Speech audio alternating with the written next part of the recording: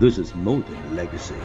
This is a source of inspiration, sharing the journey of discovery. PSN College of Engineering and Technology. வாக்களித்த மக்களுக்கு சந்தேகம் ஏற்படும் அளவிற்கு தேர்தல் ஆணையம் செயல்படக்கூடாது என மத்திய இணையமைச்சர் எல் முருகன் தெரிவித்துள்ளார் நீலகிரியில் மின்னணு வாக்குப்பெட்டிகள் வைக்கப்பட்டுள்ள அறைகளின் சிசிடிவி கேமராக்கள் செயல்படாமல் இருந்த விவகாரத்து குறித்து அவர் இவ்வாறு கூறியுள்ளார்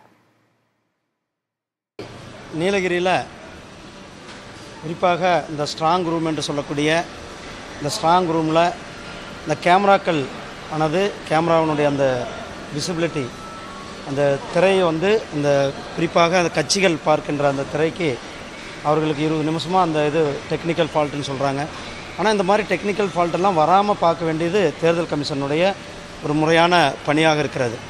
முறையாக அந்த டெக்னாலஜி என்னவோ அந்த டெக்னாலஜியோடு அவர்கள் வந்து இருபத்தி நாலு மணி நேரமும் தொடர்ந்து அதை கண்காணிப்பில் இருக்க வேண்டும் இதை வந்து எந்தவித ஐயத்திற்கும் இடம் கொடுக்காமல் தேர்தல் கமிஷனானது முறையாக பணி செய்ய வேண்டும் என்பது என்னுடைய வேண்டுகோள் This is more than legacy.